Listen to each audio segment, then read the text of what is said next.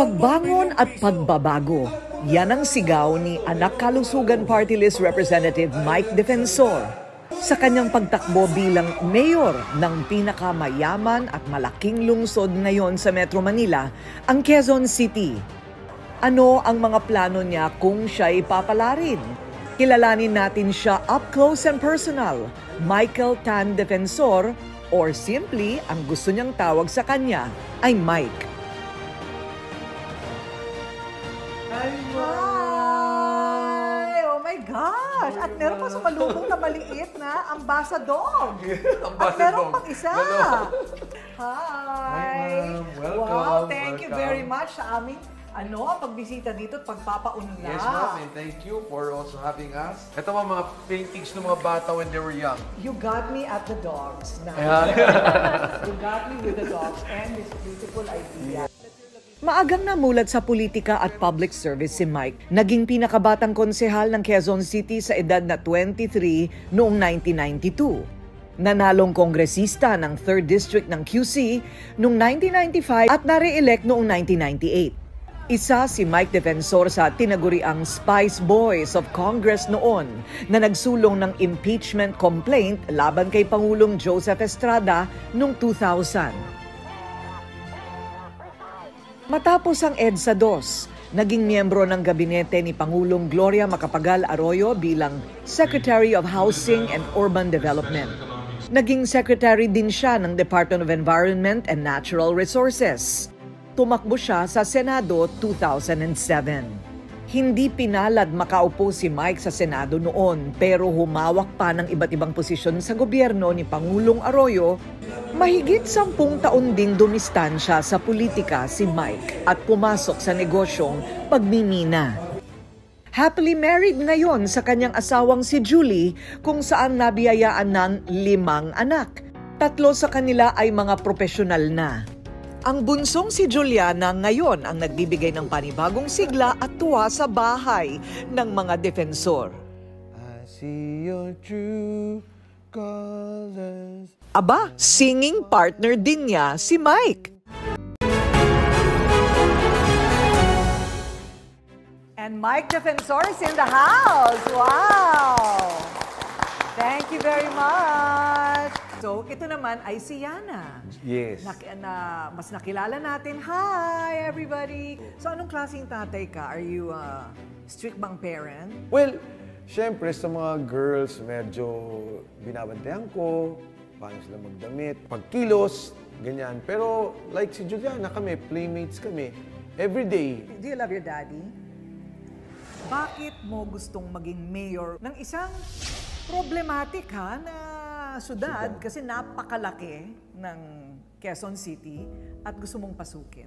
Dito sa Quezon City, no, out of 100 students papasok sa elementary, 20 lang yung gagraduate. Ito yung opportunity to build something, to create a legacy. More importantly, mabigyan mo ng oportunidad yung lahat na makapag-aral sila, makapagbagong buhay, magawa nila yung magkaroon ng magandang kinabukasan. Paano isolve ang problema ng low graduation uh, uh, output Yes. ng Quezon City? Kailangan mo muna tulungan sila, of course, sa tuition fee. Kung kaya naman ng magulang, more importantly, talagang bigyan mo ng baon, bigyan mo ng pamasahe. So by giving them 200 a day, 1,000 a week, yun makakatulong talaga, makakatapos sila. That's one. Another thing is technical vocational. They can take a two-year course. We have about 30 billion pesos na pondo namin. Even if you allot 3 billion, that's only 10% of your total budget. And yet, marireverse mo yung situation na 20% lang ang graduate. Pwede mong gawing 80% ang graduate sa Quezon City. Ano pa ang sabi mo ng dalawa pang malaking problema na uunahin mo pag ikaw na palarang umupo? Um, isang pinakamalaking problema pa ng Quezon City, pabahay at palupa. Kasi dito, 300,000, 300,000 ang wala pang sariling bahay at lupa. Pero ang Quezon City rin ang pinakamalaki na syudad sa Metro Manila. So marami kang option. Mixed to. In fact, hindi lang dalawang mix, iba-ibang mix. Number one, meron kang mga taong nakatira sa lupa na privately owned. May, nag, may nagmamaari na pribado, pero ang problema nila, walang pera yung mga tao. Yung iba gusto nila ibenta sa tao eh. Balik nyo lang yung pera ko para lang makabawi ako dun sa lupang binayaran ko. And yung mga tao naman gustong bayaran. So ang kailangan mo is financing. ang city, we will intervene. Second scheme is maraming lupa na talaga na gobyerno, pag-ari ng city, matagal nang tinitiran. So ito naman, pwede mong gawing option dito is i-award na talaga sa kanila. The third option, maraming bakanting lupa na gobyerno. Pwede mong patayuan yun. Pero very important, para sa akin na yung use of rock arrangement. Ang ibig ng use of rock arrangement, parang Singapore. Ang Singapore, ang lupa nila, hindi binibenta. Pag nagtayo sila ng unit, yung unit lang ang binibenta. Pero recognize yun. Pwede ka pumunta ng bangko, umutang ka. Pwede mong, pwede mong ibenta. The fourth option is private talaga. Bumili ka ng private na lupa, itayo mo. Pag, ah, pagkatapos doon, kumuha ka ng mga pag-ibig members. Kasi matagal ang pag-ibig, 25 years. At pwede mong i-award sa kanila. Ano pa ang isa sa pinakamalaking problema ng Quezon City? We have to attract investors to Quezon City. Pasok kayo dito. Maayos ang Quezon City, maganda ang taxes namin, ayusin namin. Yung Quezon Avenue, papailawan. Quezon Boulevard, ah, yan, papailawan. Yung Commonwealth, dapat maliwanag. Bala ko, yung Quezon Memorial Circle, talagang gawing Lincoln Memorial, Washington Memorial. Maganda talaga. And yung Ninoy Parks and Wildlife, eh gawin naman natin parang night zoo ng Singapore. Nabanggit mo ang hospitalization, kulang pa ba talaga ng ospital sa QC? Swerte ang Quezon City. Kasi ang Quezon City may 14 hospitals na specialty hospitals. But ang pag-aari ng hospital ng Quezon City ay tatlo. Kailangan niyang pagandahin namin. Ayusin talaga namin. And kailangan nakalink up siya sa PhilHealth.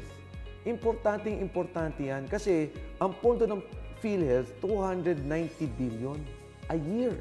So ang ibig sabihin, kung ang tao may cancer, meron na siyang program sa PhilHealth na pwede niyang tulungan kagad ang tao. Drugs. Problema pa rin yan. Problema. Paano mapipigilan?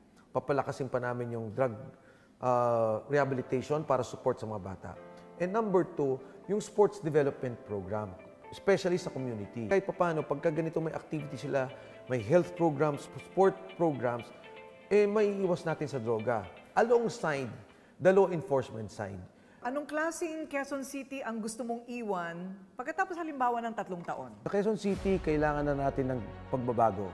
Kailangan naman dito yung bata na gusto mag-aral, magkaroon siya ng edukasyon. Pag mahirap ka, meron kang programa na pangkalusugan na hindi kayo tataboy dahil wala kang pera. Na dito sa atin yung mga senior citizens, matanggap naman nila yung mga allowance nila. At siyempre, matulungan yung mga liliit na mga nagtitinda ng gulay, mga vendors na magkaroon ng magandang kabuhayan at trabaho dito sa ating lungsod. Kailangan tayo tulong-tulong, sama-sama, bumangon muli.